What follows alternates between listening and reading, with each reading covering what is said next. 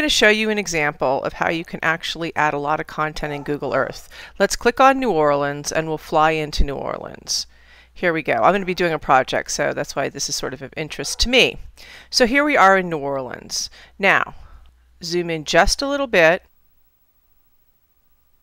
I head over the primary database. This is where we're going to find the New York Times down to gallery, open up gallery, and there's the New York Times. Now once you click in the box, you'll see that the New York Times icon comes up and there's its balloon. These are the stories about New Orleans. Um, I decided to choose Waiting for New Orleans. You can see there's a section and a location. After having browsed the article, I return back to my original list and close down the balloon.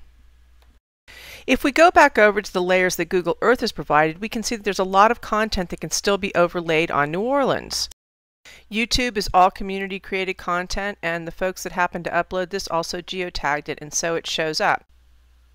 In addition, if you go up to the geographic web, you'll see that there's Wikipedia and Panoramio. Wikipedia is represented and then you can link to the full article.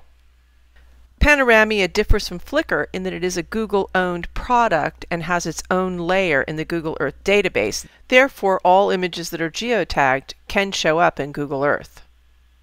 What's really worth noting here is the fact that we have content created both from the top down via the New York Times, the great gray old lady, and also from the bottom up, YouTube, Panoramio, and Wikipedia. The content we've seen so far has been both professionally created and community created, but what's common to it is that it all lives in the Google Earth database. But individuals and individual companies can create their own content that can be imported in. CBS News is a good example of that. Here's their balloon.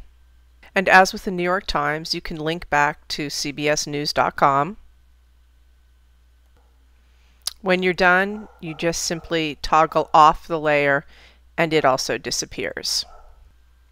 This is really the great mashup tool that's available to anybody and everybody. It requires no programming skills.